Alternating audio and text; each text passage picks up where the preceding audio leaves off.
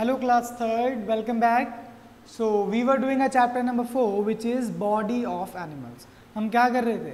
Chapter कर रहे थे body of animals okay so हमने पिछले लेक्चर में क्या किया? हमने बात की कि एनिमल्स के पार्ट कौन कौन से होते हैं।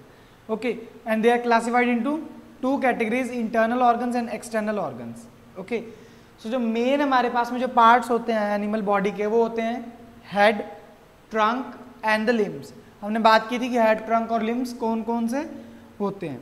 सो so, आज हम करने जा रहे हैं स्पीसीज ऑफ़ एनिमल किंगडम की जो क्लासिफिकेशन एनिमल किंगडम्स का कि हमारे पास में कौन कौन से तरह के जो एनिमल्स होते हैं जिनको कैटेगरी में डिवाइड किया गया है उनकी बात करेंगे।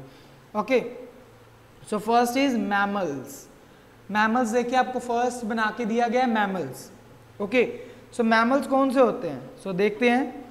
Mammals are the animals that give birth to their young ones कि मैमल्स कौन से होते हैं जो अपने यंग वंस को, अपने जो ऑफ़ स्प्रिंग जो उनका चाइल्ड है, उसको वो बर्थ देते हैं। बर्थ देते हैं not eggs okay so they they give birth to their child okay वो बर्थ देते हैं। फॉर एग्ज़ाम्पल हमारे पास में है एलिफेंट्स सो एलिफेंट जो है, वो क्या करता है?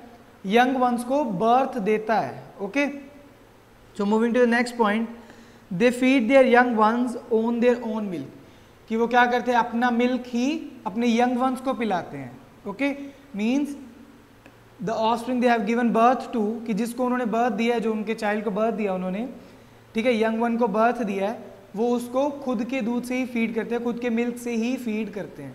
Okay next is humans are also mammals कि जो ह्यूमंस है मीन्स हम, इंसान जो हैं, वो भी क्या है? मैमल्स है because mammals also give birth to their young ones. Okay. So, you can say mammals give birth to young ones. So, now next is, elephant is also a mammal but has an organ called trunk. कि जो elephant है वो भी क्या है? एक mammal है और उसके पास भी क्या होता है? एक ऑर्गन होता है जिसको हम क्या बोलते हैं? ट्रंक बोलते हैं। ओके सो अब देखिए इसमें हमें एलिफेंट्स की पिक्चर एलिफेंट की पिक्चर बना के दी गई है। जिसमें हमने क्या किया है कि ये पार्ट्स को स्पेसिफाई करना है। जैसे ये देखिए, ये एलिफेंट है। सो so, इसमें जो ये पार्ट है, जो इसके हम बोलते हैं, ये वाले पार्ट को हम क्या बोलते हैं? ट्रंक बोलते हैं। ओके सो so, ये और किसी एनिमल्स में नहीं होती, सिर्फ़ इसी में ही होती है। और एलिफेंट के अलावा हम दूसरी ट्रंक वो वाली टर्म अलग है और एलिफेंट में ट्रंक बोला जाता है इसे। Okay so that's clear to you okay so now moving to the next which is birds देखिए बर्ड्स जो जैसे आप देखते हैं पीजन देख सकते हैं आप क्रो देख सकते हैं पैरट देख सकते हैं स्पैरो देख सकते हैं, जो भी आपको बर्ड्स दिखते हैं, जो उड़ रहे होते हैं, उनको हम क्या बोलते हैं? बर्ड्स बोलते हैं okay so now let us study from the book कि बुक में आपने क्या लिखा है? So a birds body mainly consist of head trunk wings legs and tail कि जो बर्ड्स होते हैं, उनके क्या होता है? कि जो बॉडी होती है, उसमें मेनली क्या होता है हमारे पास में? हेड होता है, जैसे आप किसी भी बर्ड को देखिए, आपको उसका हेड मिलेगा, जिसके अंदर आपको क्या मिलेंगे उसकी? बीक और आईज मिलेंगी और ईयर्स मिलेंगे, है ना? नेक्स्ट इज़ इन्होंने क्या बोला? ट्रंक जो हमने ट्रंक बात की थी एनिमल्स में होती है, वो वाली ट्रंक नॉट द एलिफेंट वाली ट्रंक ठीक है? सो वो वाली ट्रंक जो हमारी ट्रंक है, और होते हैं विंग्स विंग्स मीन्स जो हमारे फ्लाई करने के लिए बर्ड्स के जो वर्क में आते हैं, उनको हम क्या बोलते हैं? विंग्स बोल देते हैं। Okay? Next is legs and tails कि आप देखेंगे बर्ड्स की दो लेग्स होती हैं और एक साथ में टेल होती है। टेल मीन्स कुछ लंबे तरीके वाली टेल नहीं, जो इस तरह से हमें बना के पीछे दी जाती है। जो हर एक बर्ड के पीछे से होती है। इसको हम क्या बोलते हैं? उसकी टेल बोल देते हैं। Okay? Because it is of very short type okay?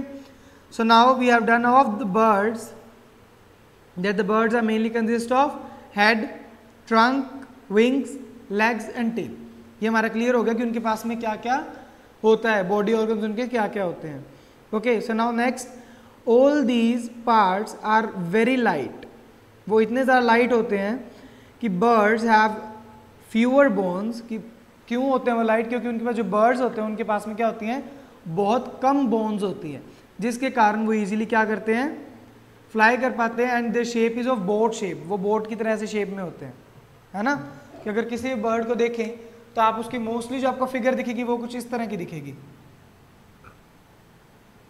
ठीक है? इस तरह की फिगर दिखेगी। This is of boat shape so okay boat shape क्या है? फिर उन्हें किसमें हेल्प करती है बोट शेप की जो बॉडी है, उसको इजीली फ्लोट करने में हेल्प करती है एयर में।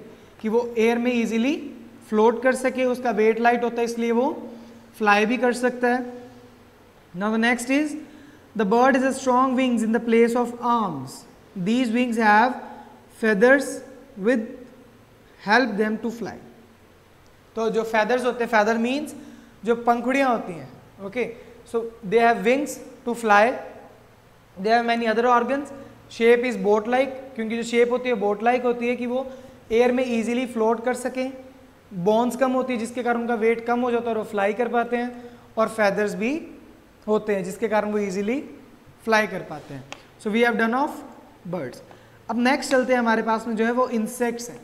इंसेक्ट जैसे कि आप देखते हैं फॉर एग्ज़ाम्पल ग्रास ऑपर देखते हैं आप कॉकरोच देखते हैं। So these are the type of insects okay जैसे एंट देखते हैं आप। एंट मीन्स चींटी।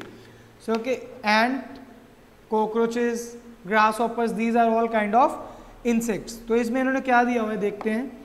सम animals have six or more legs they are called insects some insects can fly अब देखिए कि इन्होंने बोला कि जिनके पास में सिक्स या सिक्स से ज़्यादा लेग्स होती हैं, उनको हम क्या बोलते हैं? इंसेक्ट्स बोल देते हैं ओके तो जिनके पास सिक्स या सिक्स से ज़्यादा लेग्स हैं, वो इंसेक्ट्स होते हैं और sometimes they can fly also कि कुछ इंसेक्ट्स जो होते हैं, वो क्या करते हैं? फ्लाई भी कर सकते हैं. फॉर एग्ज़ाम्पल कॉकरोच कॉकरोच का हमने एग्ज़ाम्पल दिया. कि कॉकरोच जो है, ये क्या होता है? इसमें लेग्स देखिए काउंट कीजिए one two three four five six cockroach की सिक्स लेग्स होती हैं। और समटाइम्स वो हमारे अपने घर पे देखा होगा कि वो फ्लाई भी कर सकता है, अगर कभी कॉकरोच हो तो। तो they can fly also so insects may fly also okay so now next point is aquatic animals next and the last point is aquatic animal aquatic का मतलब क्या होता है? एक्वा का मतलब होता है वाटर और एक्वेटिक का मतलब होता है कि जो वाटर में रहते हैं। So aquatic animals are those which can live in water okay so जो वाटर में जो होते हैं जो एनिमल्स होते हैं उनको हम क्या बोलते हैं? एक्वेटिक एनिमल्स बोलते हैं। सो so, देखते हैं इन्होंने क्या बोला हुआ है। Some animals live in water they animals live in water are called aquatic animals जो हमने अभी बात की कि जो वाटर में रहने वाले एनिमल्स उनको हम क्या बोलते हैं? एक्वेटिक एनिमल्स बोलते हैं। Fish live in the water fish breathe through their gills under water कि अब देखिए जो फ़िश है वो सिर्फ़ अंदर ही रहती है वाटर की, वो बाहर नहीं निकल सकते। बाहर निकालने से क्या होता है वो? मर जाती है सर्वाइव नहीं कर पाती है। तो जो वाटर के अंदर जो ब्रीथिंग करने के लिए जो ऑर्गन यूज़ होते हैं, उनको क्या बोलते हैं हम? गिल्स बोलते हैं। What we call them gills G I double L S तो गिल्स क्या हेल्प करते हैं? फ़िश को या फिर एक्वेटिक एनिमल्स को वाटर में ब्रीथ करने के लिए हेल्प करते हैं okay next is Fish live in water. Fish breathe through their gills under the water. Fish do not have legs. Fish have fins and tail. Fins and tail help fish to swim. कि अब देखिए fish हमने diagram बनाया है fish का तो fish में आप देख सकते हैं कि कोई इसके पास में लेग्स नहीं है है ना fish don't have any types of legs so fish के पास में कोई लेग्स नहीं है, इसके बाद फिन्स है फिन्स इनको बोलते हैं जो ये जो साइडों में बना के दिए गए हैं ये इसे बोलते हैं फिन्स और इस इस पार्ट को क्या बोलते हैं? टेल बोलते हैं. Okay so this this is called tail and these are called fins ठीक है? सो ये फिन्स और टेल किसमें हेल्प करते हैं उसे? मोशन में हेल्प करते हैं स्विम करने में हेल्प करते हैं वाटर में.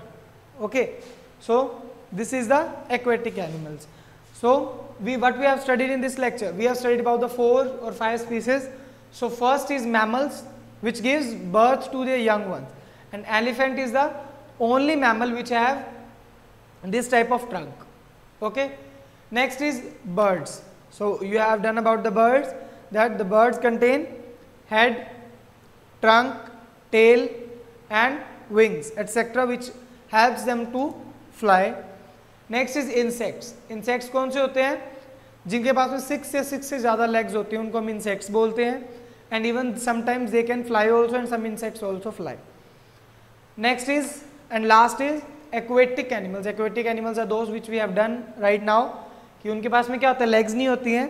फिन्स और टेल होती है which help them to swim so this chapter gots complete hope you all got it well so आपको क्या करना है? इसको दोबारा से इसको रीड करना है, इसकी एक्टिविटीज़ करनी है, so that you will getting it properly. Okay? Thank you and have a nice day.